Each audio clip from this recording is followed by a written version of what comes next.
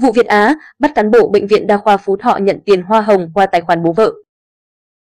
Nhận hơn 2 tỷ đồng lót tay trong vụ án nâng khống giá kit xét nghiệm COVID-19 tại công ty Việt Á, ông Trần Gia Phú, Phó Giám đốc Trung tâm Xét nghiệm Bệnh viện Đa khoa tỉnh Phú Thọ vừa bị khởi tố, bắt tạm giam. Ngày 27 tháng 5, cơ quan cảnh sát điều tra công an tỉnh Phú Thọ đã ra khởi tố, bắt tạm giam 4 tháng đối với ông Trần Gia Phú, trưởng đơn vị vi sinh. Phó Giám đốc Trung tâm Xét nghiệm thuộc Bệnh viện Đa khoa tỉnh Phú Thọ để điều tra về tội lợi dụng chức vụ quyền hạn trong khi thi hành công vụ. Liên quan đến sai phạm trong mua sắm kit test của công ty Việt Á, trước đó, Thanh tra tỉnh Phú Thọ cho biết năm 2020 đến 2021, Sở Y tế tỉnh này đã ký 8 hợp đồng mua sắm trang thiết bị, vật tư y tế, sinh phẩm, kit xét nghiệm với công ty Việt Á, tổng giá trị hơn 8,2 tỷ đồng. Ông Trần Gia Phú khi đó là trưởng đơn vị vi sinh, phó giám đốc trung tâm xét nghiệm đã báo cáo ban giám đốc bệnh viện đa khoa tỉnh Phú Thọ đề xuất mua sinh phẩm,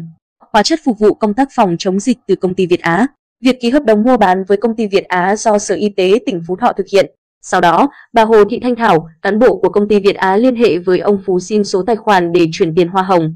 Từ tháng 11 năm 2020 đến tháng 9 năm 2021, bà Thảo chuyển khoản cho ông Phú 4 lần với số tiền hơn 2 tỷ đồng. Trong đó có hai lần ông Phú nhận 1 tỷ đồng thông qua tài khoản của bố vợ. Việc nhận số tiền trên, ông Trần Gia Phú không báo cáo với ban giám đốc bệnh viện và Sở Y tế. Chỉ đến khi đoàn thanh tra đến làm việc tại bệnh viện Đa khoa tỉnh Phú Thọ ngày 25 tháng 1 năm 2022, ông Trần Gia Phú mới báo cáo sự việc và xin nộp vào ngân sách nhà nước toàn bộ số tiền đã nhận từ công ty Việt Á, kết luận thanh tra nêu rõ. Trong hơn 5 tháng, kể từ khi cơ quan cảnh sát điều tra Bộ Công an C03 khởi tố vụ án thổi giá kit xét nghiệm COVID-19 xảy ra tại công ty, Việt Á hôm ngày 18 tháng 12 năm 2021, cơ quan điều tra Bộ Công an và công an các địa phương đã khởi tố hơn 40 người, trong đó có 4 quan chức thuộc Bộ Y tế, Bộ Khoa học và Công nghệ, 16 lãnh đạo, cán bộ CDC, Sở Y tế các tỉnh, thành. Kết quả điều tra ban đầu xác định, ông Phan Quốc Việt, tổng giám đốc công ty Việt Á đã thổi giá kit xét nghiệm COVID-19 lên khoảng 45% và chi gần 800 tỷ đồng tiền hoa hồng cho các đối tác,